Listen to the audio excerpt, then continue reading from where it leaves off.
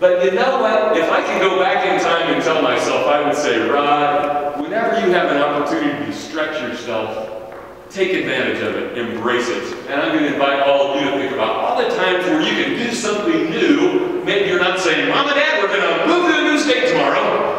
But maybe like me, whenever you graduate from college and you get a job offer and your company says, where you, where's your geographic restrictions? Maybe you say, this is a pretty good time in my life to go wherever you need me to go. And that's what I did. And I got to move to Vermont from central Illinois. I lived in Vermont for two years, a year in New York, four years in Madison, and boy, did I learn how to stretch and find out new things about myself and about different people. I got a chance to connect with people that were not like me, and that was a wonderful way to develop some superpowers of saving the world through leadership like all you're doing here. You've all done a pretty cool thing this weekend by stretching. How many of you, let's be honest, be honest to Rod, how many of you were a little bit nervous yesterday morning on your way here thinking, what am I getting myself into?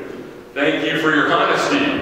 It's a little awkward. It was a little awkward for me today to drive to Decatur saying, oh boy, I've got 90 some 12, 13, and 14 year olds that are probably going to be bored out of their mind when I talk about, you know what, I'm going to stretch and I'm going to give it a try. I would hope all of you one day have someone call you up and say, would you mind a little presentation about your time in 4-H? Because whenever you stretch yourself and you grab this crazy microphone and give a little presentation, that's a really healthy exercise to think about some of the things, some of the philosophies that are important to you.